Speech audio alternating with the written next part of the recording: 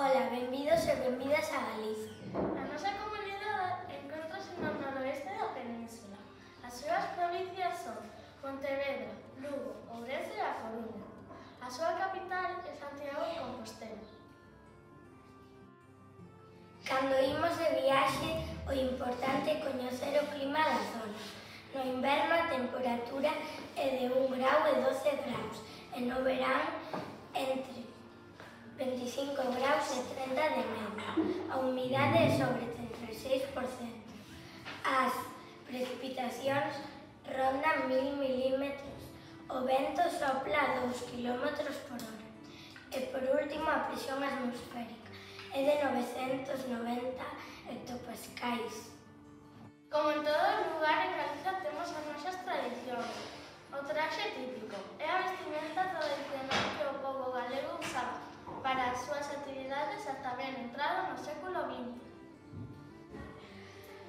Por outro lado, o noso plato típico, caldo galego.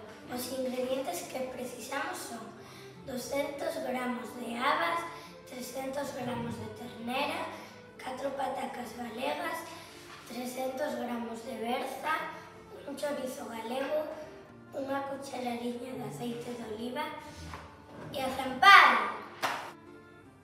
Como curiosidades temos o faro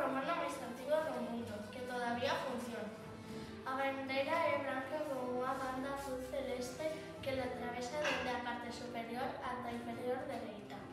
O cáliz aparece documentado como motivo principal do escudo de armas do reino final do século XIII. Agora imos falar de dos monumentos de Galicia. Por un lado, a Torre de Hércules. A Torre de Hércules é o faro aetivo con máis antigüedade do mundo, considerados dos de Galicia, que se encontran na Coruña. Por outro lado, a Catedral de Santiago. No século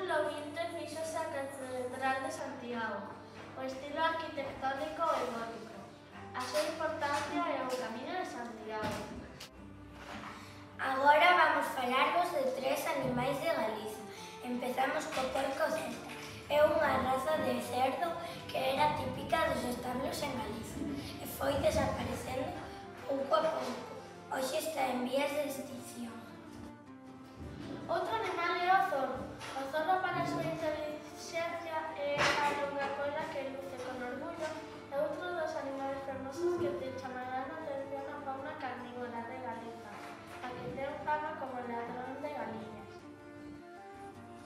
Por último, o burro fariñeiro. O burro fariñeiro é unha raza de burro autóctono.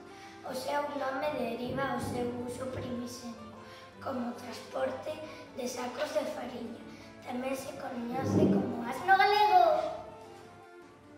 Unha vez falado da fauna é importante tamén falar da flora autóctona, un é do río, nata arbustiva que pode alcanzar os 6 metros de altura. Florece de xaneiro a marzo e é frecuente nos márgenes de lagos ou ríos, onde as súas raíces que axudan a protexer o sol da erosión da agua. O segundo son os juncos, planta perenne con rizoma, víxidos ata o metro e medio de alto. Florece de xunio a outubro en zonas húmidas, principalmente nas beiras ou os ríos ou lagos.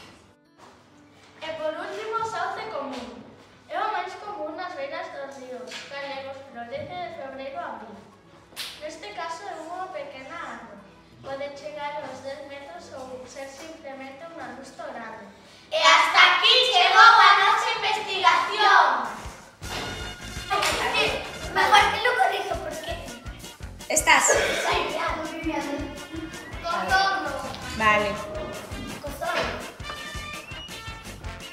Leme primero. Ah, vale, vale. ¿Lo veis después?